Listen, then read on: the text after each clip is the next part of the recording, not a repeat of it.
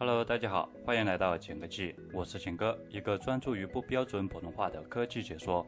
你知道吗？我们日常使用的一些应用或浏览器都有一些彩蛋。那么今天我们就来聊一聊百度和微信。首先，我们在百度界面搜索网络词“端”，这时你会发现它的界面会晃动。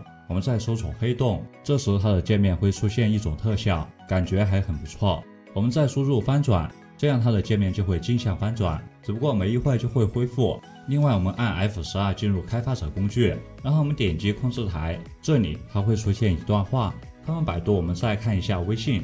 我一直以为微信支付是一个没有情感的机器，不过当你和它聊天后，你就会发现它似乎还有点意思。其实像这些软件上的趋势还有很多，比如知乎、B 站等等，有兴趣的朋友也可以去试一下。好了，本期视频分享就到这里，我们下期再见。